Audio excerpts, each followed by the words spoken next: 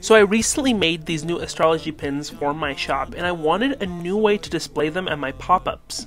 So I found this really fun little flag that was like a pin display on Amazon for 5 bucks. It's an easy way to have them all together and just like set it up super quick. So I started by painting it all black and I was trying to go for like a little simple galaxy theme with some starbursts here and there. But in reality it didn't turn out the way I wanted it to. Look at how pretty they all are. Ugh, I love these pins so much. And this is how it came out. Let me know what you think. Um, if you have any other comments or any suggestions, please leave them in the comments.